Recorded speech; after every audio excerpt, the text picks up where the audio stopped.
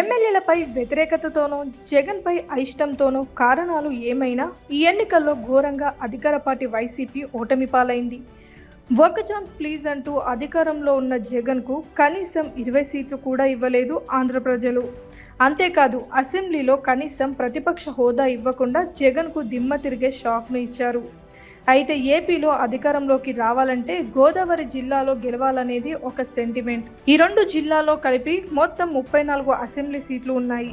ఇక్కడ majority seat గెలిచిన party ఏపీలో ప్రభుత్వాన్ని ఏర్పాటు చేయడం ఆనవాయితీగా వస్తుంది. గత ఎన్నికల్లో వైసీపీ తూర్పు గోదావరి జిల్లాలోని పంతొమ్మిది అసెంబ్లీ నియోజకవర్గాలు ఉండగా వైసీపీ పదిహేను పశ్చిమ గోదావరి జిల్లాలో పదిహేను సీట్లు ఉండగా వైసీపీ పదమూడు చోట్ల విజయం సాధించింది. ఉభయ గోదావరి జిల్లాలో ముప్పై నాలుగు నియోజకవర్గాలు ఉండగా ఇరవై ఎనిమిది నియోజకవర్గాల్లో విజయం సాధించింది. ఈ ఎన్నికల్లో ఉభయ గోదావరి జిల్లాలోని ముప్పై నాలుగు నియోజకవర్గాల్లో టీడీపీ కూటమి విజయం సాధించడంతో వైసీపీ డకౌట్ అయ్యింది ఇక ఉమ్మడి నెల్లూరు జిల్లాలోని పది నియోజకవర్గాల్లో టీడీపీ క్లీన్ స్వీప్ చేయడంతో వైసీపీ ఖాతా తెరవని పరిస్థితి నెలకొంది. ప్రస్తుత ఎన్నికలను పరిశీలిస్తే వైసీపీ దాదాపు ఎనిమిది ఉమ్మడి జిల్లాలో ఖాతానే తెరవలేదు.